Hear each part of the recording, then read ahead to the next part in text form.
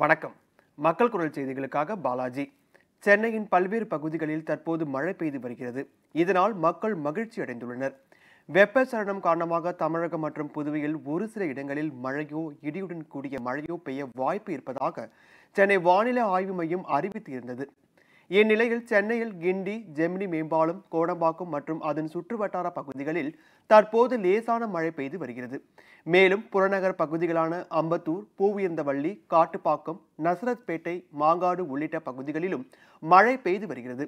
நீண்ட நாள்களுக்கு பிறகு மழை பெய்வதால் சென்னை மக்கள் மகிழ்ச்சி அடைந்துள்ளனர்.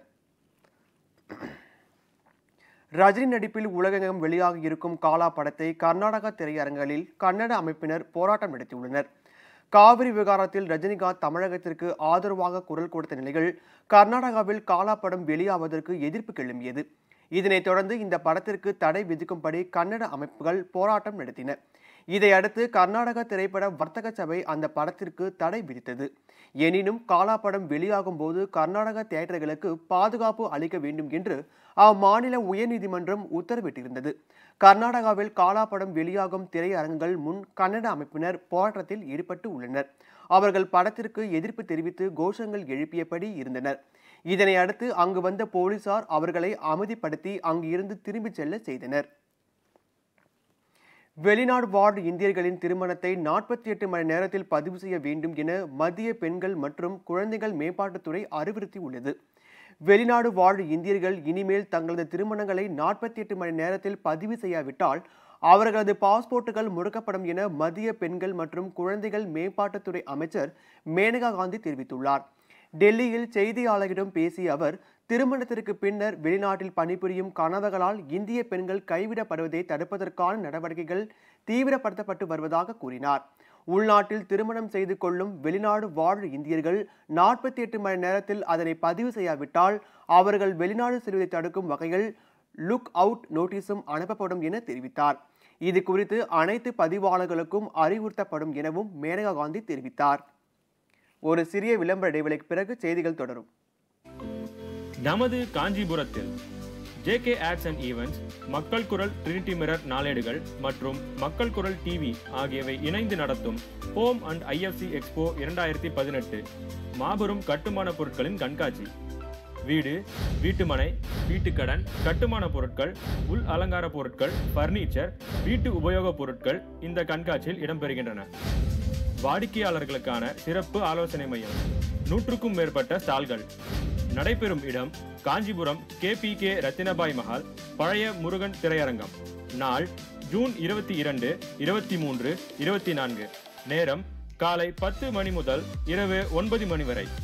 இந்த கண்காட்சியில் தங்களின் ஸ்டால் இடம்பெற ஒன்பது எட்டு நான்கு பூஜ்ஜியம் பூஜ்ஜியம் எட்டு ஏழு பூஜ்ஜியம் இரண்டு இரண்டு அல்லது எட்டு இரண்டு நான்கு எட்டு இரண்டு பூஜ்ஜியம் ஆறு ஆறு ஐந்து எட்டு என்ற எண்ணிற்கு தொடர்பு கொள்ளவும்.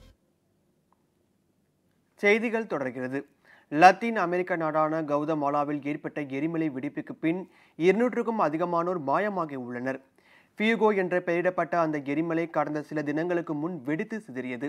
இதில் இருந்து ஏற்பட்ட சாம்பல் மற்றும் புகை மூட்டத்தில் இறந்தவர்கள் எண்ணிக்கை எழுபத்தி ஐந்தாக உயர்ந்துள்ளது. மேலும் எரிமலை வெடிப்புக்கு முன் இருந்தவர்களின் இருநூற்றுக்கும் அதிகமானோர் மாயமாக இருப்பதாகவும் அந்நாட்டு அரசு தெரிவித்துள்ளது.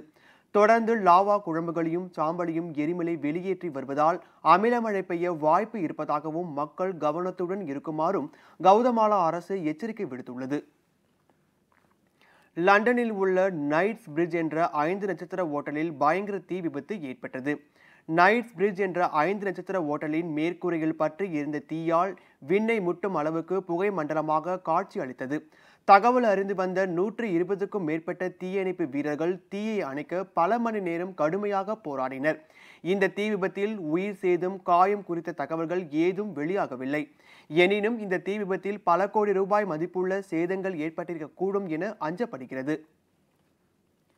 சீனாவில் தயாரிக்கப்பட்டு வரும் கணினியில் இயங்கும் இருசக்கர கார்கள் அடுத்த இரண்டு ஆண்டுகளில் பயன்பாட்டுக்கு வரும் என்று தெரிவிக்கப்பட்டுள்ளது.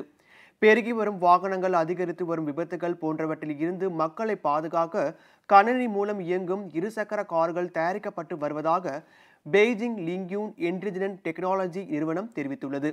கைரோ கார் என அழைக்கப்படும் மின்சாரத்தின் மூலம் இயங்கும் இந்த வகை கார்களில் ஒருவர் மட்டுமே அமர்ந்து செல்ல முடியும். அதிகபட்சமாக மணிக்கு அறுபத்தி இரண்டு கிலோமீட்டர் வேகத்தில் செல்லக்கூடிய இந்த வாகனம் முழுவதும் கணனியால் இயக்கப்படும். ஆக்சலரேட்டர் பிரேக் என அனைத்து கணனியில் பொருத்தப்பட்டுள்ள மவுஸ் மூலமும் இயக்கிக் கொள்ளலாம் என அந்த நிறுவனம் தெரிவித்துள்ளது.